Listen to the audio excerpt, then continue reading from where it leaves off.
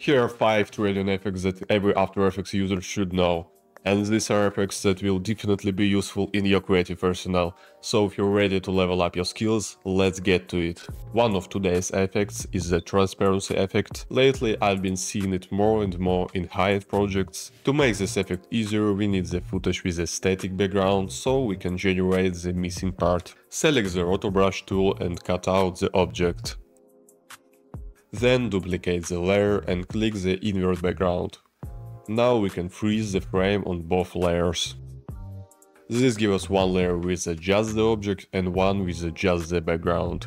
Select the background layer, go to Content Aware Fill and adjust the settings. I recommend increasing alpha expansion to avoid weird edges. Click Generate, wait a bit and now we have a clean background. Create a pre-composition, add displacement map effect. Here we select our layer with the object effects and masks, set horizontal displace to luminance and the same for the vertical displace. Check this box and tweak the values. That's the whole effect. The next effect is time displacement, which is also super popular right now. Create a new solid layer and add a gradient ramp. Turn off this layer and add the time displacement to your footage.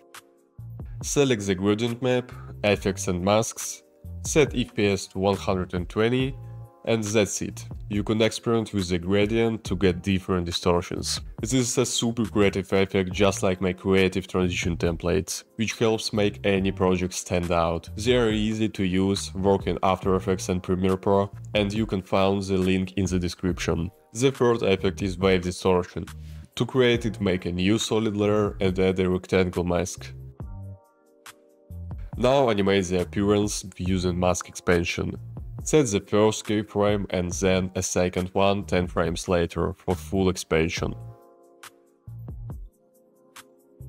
Duplicate the mask, set it to intersect and click invert.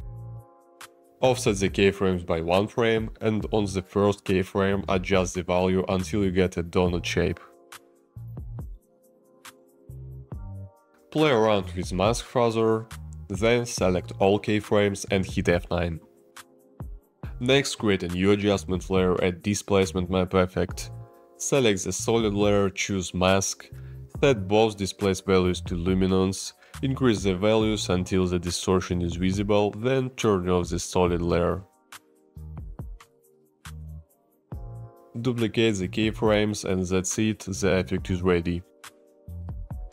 The next one is the stylish glitch block effect and it's super easy to make. Add motion tile to your footage, set output within height to 200 and enable mirror edges.